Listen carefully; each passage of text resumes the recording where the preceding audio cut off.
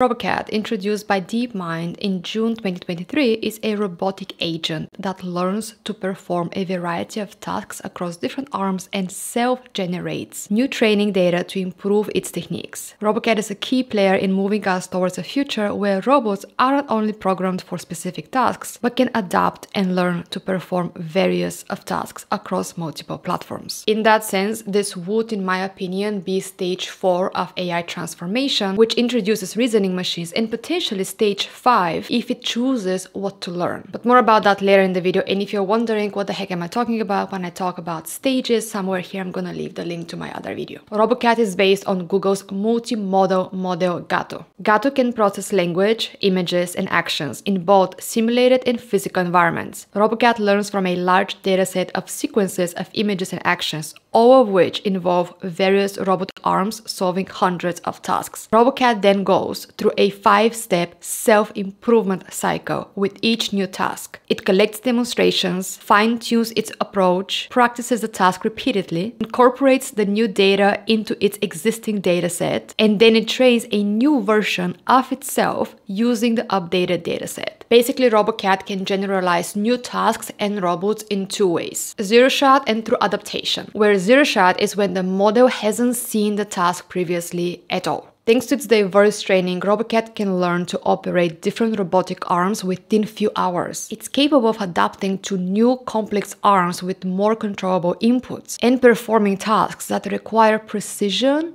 and understanding. For instance, it can remove the correct fruit from a bowl and solve a shape matching puzzle. After observing 1000 human controlled demonstrations, Robocat is able to successfully perform complex tasks up to 86% of the time. The initial version of Robocat was successful just 36% of the time on previously unseen tasks after learning from only 500 demonstrations per task. But the latest Robocat, which had trained on a greater diversity of tasks, more than doubled the success rate on the same tasks. This exponential growth and improvement shows Robocat's ability to learn autonomously and self-improve rapidly. So is Robocat an opportunity or a threat? To answer this question, we need to focus on three things. First, the more new tasks it learns, the better it becomes at learning in general. It can generate its own training data for subsequent iterations, which means it can create its own unique self-improvement loop. And third, what we know about intelligence and learning is that you cannot become a master at one thing